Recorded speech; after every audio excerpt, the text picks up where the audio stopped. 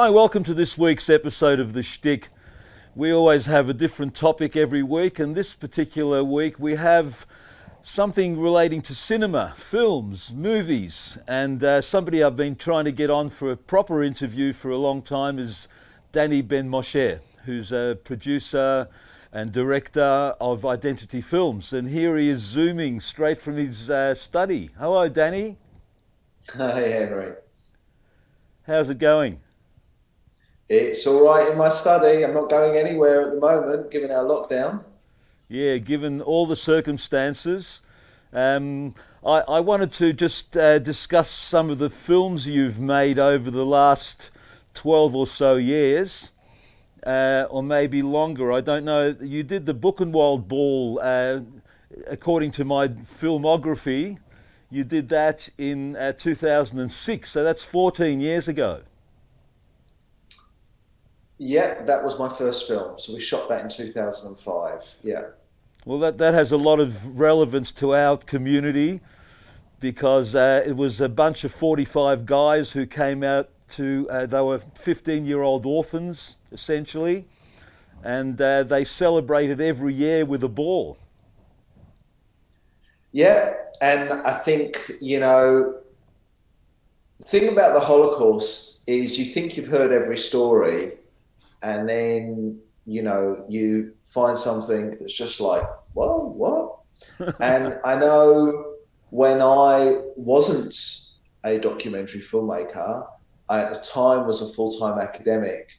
Um, and when i but i went and i pitched some documentary ideas one of which was the buchenwald one. Yeah. and the reaction was what? Holocaust survivors who dance celebrating liberation and yeah, that, so that became my first film, and and then it was like a drug. It was like, ah, I'm hooked. I need more.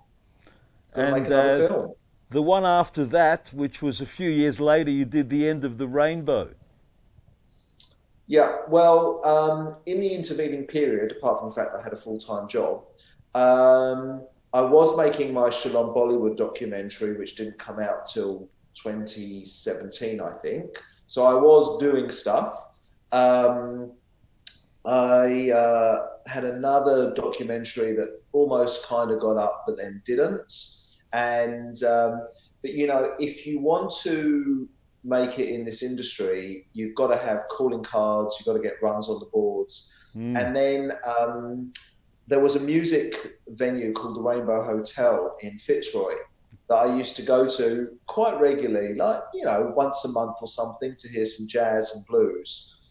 And, you know, what I've learned about this film industry is, as a filmmaker is you don't go out and find your story. The story finds you. Yep. And I was I was with a producer colleague in Fitzroy, where there used to be this kind of cooperative of film offices, and we were talking about, well, we had this film, it almost got up with SBS and it didn't we've got to find another story. And, and I was flicking through the paper, it was the EG in The Age, yep. and it was about the Rainbow Hotel was closing down and going to be, you know, become apartments. And it was like, whoa, that, that's, I literally walked from the office, the film production office where I was, to the Rainbow, knocked on the door and said, hey, is this happening? Can I come and film it? And, and that became my second film. Yeah, well, I used to go there regularly on a Monday night to see. Uh, Paul Williamson. Of course, Paul was one of my favourites. And then after that, you went to London to do Carnaby Street. That was amazing. Yeah. Um, well, Carnaby Street, one, I am a Londoner. Two, my family are there. Um, again, that was a film I had been filming incrementally it's not like you know with documentaries you go right we're going to film it this week uh, um, and also you know with funding and timing. So i just film things incrementally and then in 2009 when i was still in the academic world i went on sabbatical to the uk for a year. Yep. And that was really an opportunity to then you know really shoot it and uh, it was a story that I grew up with because my father was one of the characters in the documentary. He was one of the Mr. Moss. Pioneers. Mr. Moss, one of the the fashion pioneers of Carnaby Street. In fact, last time I was in London, um, bit of family nachas, we uh, had the unveiling of the green plaque in the city of Westminster for Lady Jane above his shop Yep. in, in Carnaby Street. And, um, you know, managed to get some good musicians into the film, like Roger Daltrey from The Who, Yep. um, Donovan, Yeah. the Walker Brothers, the Searchers. Um, so in the end, and it was a story that I grew up with Carnaby Street folklore because it was part of my family's business, Yep. and also from a cultural point of view, I was like fashion and music. I was a kind of mod growing up when mods were no longer really the thing. And it was was it was the scene. It was all yeah, about the scene- uh, yeah, but I grew up in the 80s, not in the Yeah. 60s. Yeah. So I kind of missed it a bit. But anyway, you know, I was into the jam and things like that. So also, I kind of identified with it. And I think that's really the other thing about filmmaking. You've really got to identify with your story, be kind of called to it in some Mm. Correct. way. In many respects, you know, these films like me going to see Paul Williamson on a Monday night at the Rainbow Hotel, Yeah. they're all kind in a way it's a bit indulgent filmmaking because you're just immersing yourself in these worlds you love but you have to love these worlds to spend the amount of years it takes to make turn them into a, a documentary Yeah. So the other one, getting into a more serious vein, was when you went to Lithuania with Professor David Katz, which was uh, called Rewriting History, which was an amazing documentary. Well thanks. Again kind of a documentary by accident. I went to lithuania on a family roots trip with my mum and my uncle and my aunt. And um, it all kind of started at first i was in awe you know vilna vilnius is such a beautiful city. Yeah. and um, of course it wasn't bombed because they allied with the nazis after the uh, operation barbarossa. Um, and i mean the ribbentrop molotov yeah after operation barbarossa and um, i'm sort of bounding through the streets and, and, I, and i see a shop an antique shop and i go in and there's um, uh, all this Judaica, a talit, a siddur, some candlesticks. And I, I was like, I turned to the, the seller and I said, Where are these from? And she goes, From a long time ago. And I said, Well, whose were they? And she said, People who aren't here anymore. And it was like, Oh my God, this is Nazi loot, right? Yep. So I bought the Shabbat candlesticks, which I still have and we use in our home today. hmm And I took myself over to the little Jewish museum, the greenhouse, and I walked into the office of the director who I'd already met. And I said, Do you know? Like, I was so like naive and ignorant and, and, and, and offensive in many ways. Do you know what's going on here? Blah, blah, blah. This shouldn't be allowed. How could this happen?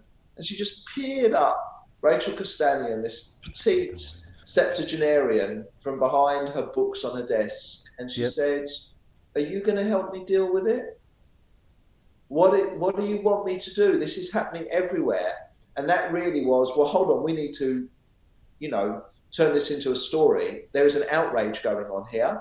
When I went to my family's shtetl, and you know, you, you look on the board and there's the history of the shtetl, and it's like 1910 this happened, 1920, da, da, da, and then it just skips 1940 when you know the 70% population were ended up in a pit in the nearby forest, and it was like no.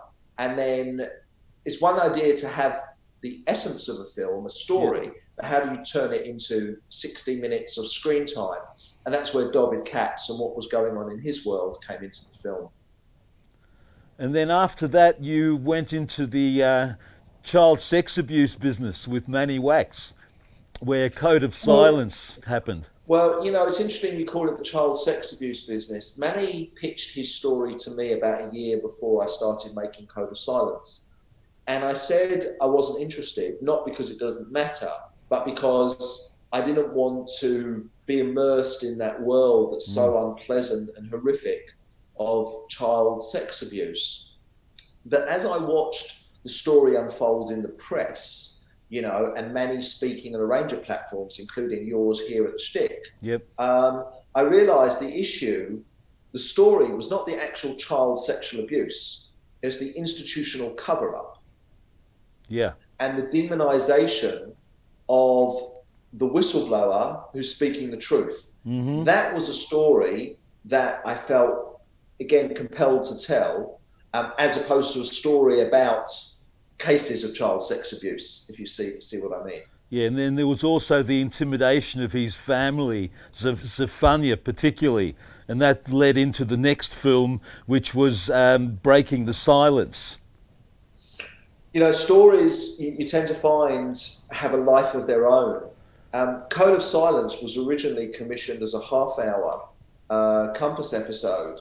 Um, but the story got so big, the ABC came back to us and said, you know, forget half hour, six thirty on a Sunday night. We want a prime time hour. We made that obviously, and it was very successful, and it was very much a zeitgeist film.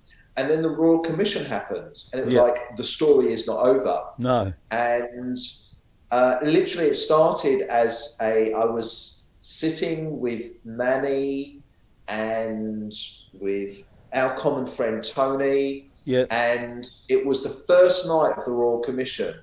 And we were just sitting around, hanging out, going, Can you believe this person said this? And it was a joke. I should make a sequel. Yeah, right? of course. And, and, it was and too was obvious. Home, and I was walking home and I thought, God, I woke up the next morning and I thought, you know what, maybe. Now, normally film commissioning takes months and months yeah. and months. Mm-hmm. I spoke to my producer Dan Goldberg, and literally about nine thirty the next morning, I got on the phone to the ABC and I said, "You know what? What about a sequel?" And by midday that day, I was standing outside the um, court in Melbourne, the county court, yeah. with a camera, and we were in production. That's it. Business goes on. And I must mention that you and Dan won a Walkley Award for the best documentary that year as well, which was a really big one of your great achievements, I think. Thanks. Yeah, it was it was Code of Silence, and again, I think it was you know, it was I think a good documentary is one which is raw and honest, and obviously provides you an access and an intimacy that you otherwise wouldn't. And and I say to everyone who's going to be in my films um, you know, if you want to make a good documentary and tell a true story, you've got to bare your soul. Mm-hmm. And you know, the that Walkley Award was really won by Manny and certainly Zephania and Haya, who just let us in. And literally, I would just there are scenes in that film and I would just it was very convenient. It wasn't like Lithuania where I'd have to organise to fly to the other side of the world. I'd just be driving by and I go, you know what, I'm going to pop in and see what's going on and that provided some of the, the, the, rawest and best moments in that in the Code of Silence, which won the Walkley. Mm. So after that, you did uh, Strictly Jewish, which was on uh, SBS television, and that was highly acclaimed and replayed several times. Yeah, it's kind of funny. I mean, firstly, it's the first time the cameras have been let into the Adass mm. Israel. Community. That was a real breakthrough yeah, that was a bit bizarre. I mean, the whole thing was a bit bizarre, to be honest, because not everyone was enamored with the idea, but you know, some people in the leadership wanted it to happen. I still quite haven't worked that what exactly what went on there, but be that as it may, um, you know, we made the film and you know, good characters, clear structure over the course of a year. But then when it came out, it just went ballistics. The hmm. ratings mm. went insane both on TV and on demand. It was the top yeah. rating doc of, I think it, it was certainly the top rating doc of the Untold Australia series, and, and maybe the top rating or one of the top rating docs of the year. Mm-hmm. And apparently, a lot of that for SBS, and apparently, a lot of that is due to. Um, it's called Strictly Jewish inside the secret world of Adass Israel. Mm-hmm. And apparently, so I've now learned, when you have the word secret in something, that generates intrigue and it's a trigger. viewers. Yeah, totally. There you go. Yeah, well, um, it's been really great to have you on the shtick, but you know what? We're coming back with another segment.